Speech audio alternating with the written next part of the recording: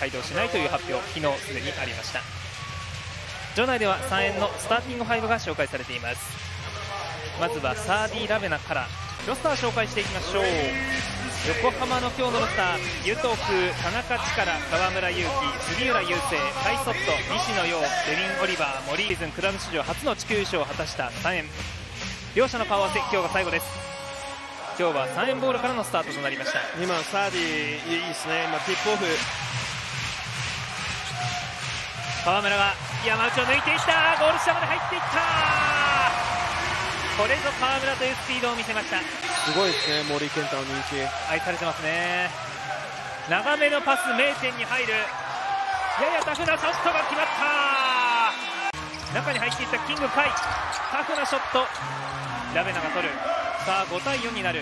中に入ってバスケットカウント。ヤンテ名店そうですね7人目になります。中に入ったヤンテ名店円盤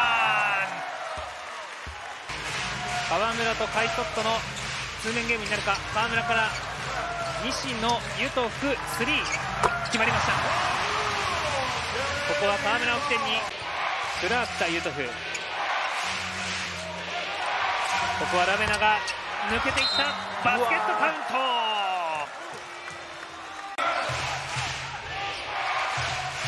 ヤンテメーテ対カイソット。強さがある。エンドワン。このポゼッション2度目のエンドワン。ユース出身田中力がコートに入っています。ユトフから。その田中力へワイドオープン。決まりました。ファーストタッチで決めていった田中力です。3円はここはゾーンになったか。オリバー。ユトフ前が空いたオリバーが取る。河村が呼ぶ。オリバーに通って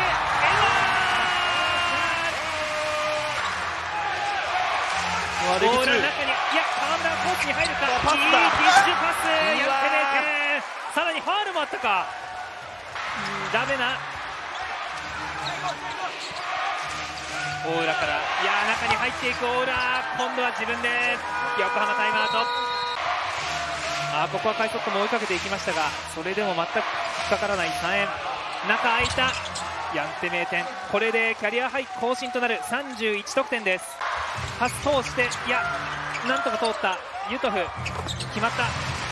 落ちてリバウンドはヤンテ名店だ。ここでもう勝負あり。3円ネオフェニックスが